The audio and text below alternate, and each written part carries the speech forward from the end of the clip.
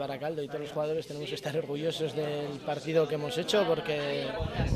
hemos jugado como si hubiéramos jugado contra un equipo de nuestra categoría, hemos jugado contra un equipo Champions y hemos mantenido nuestras señas de identidad, hemos ido a por el partido, hemos hecho una primera parte muy buena, yo creo, en la que hemos tenido muchísimas ocasiones, pero bueno,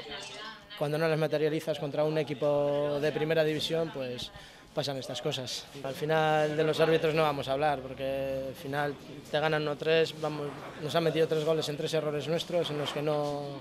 no deberíamos de cometer y bueno, lo que tenemos que hacer es aprender de eso y los árbitros dejarlo en un segundo plano, porque ellos, como hemos dicho siempre, yo creo que son los que menos se equivocan en un terreno de juego. Puede pasar cualquier cosa, pero bueno, hasta el día 16 no llega, tenemos dos partidos por delante de liga todavía,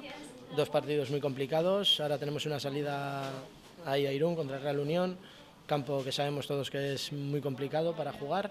y bueno, pues a intentar sacar un buen resultado de allí y luego nos viene a casa la Morevieta, otro equipo que